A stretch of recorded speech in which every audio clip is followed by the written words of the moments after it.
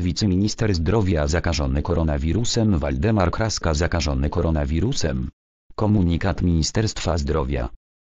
Wiceminister zdrowia Waldemar Kraska oraz oficerowie SOP ochraniający ministra Adama Niedzielskiego są zakażeni koronawirusem, poinformował w poniedziałek resort zdrowia.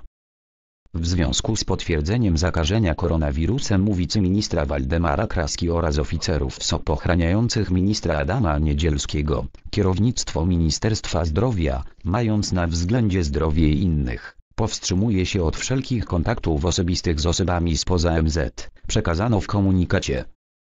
Waldemar Kraska zakażony koronawirusem, w czwartek był w Sejmie wiceminister zdrowia Waldemar Kraska w związku z pełnioną funkcją, odbywał spotkania w Sejmie w miniony czwartek.